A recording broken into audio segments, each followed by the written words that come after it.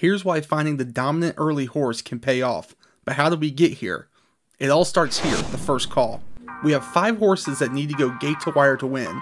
Only one of them can take the lead. That means the other four will be chasing and out of their preferred running style. Take a look at the five horse winning line on October 2nd and compare it to the other early runners in this field. 21 and 2 5 seconds to the opening quarter mile. The 3 has never ran a sub 22 second first call. 6 has ran that 21 and 2 5 opening quarter, but hasn't won doing so. 8 falls into the same category as 6, never won going sub 22 seconds, and the 10 has never ran a sub 22 second first call either. We know that the 5 will take the lead and force the rest of the early horses to chase. On top of that, he'll be going too fast on the front end for any of the off the pace horses to have a shot allowing us to dip into a spot play of a dominant early runner with multiple earlies to cash for $11.80.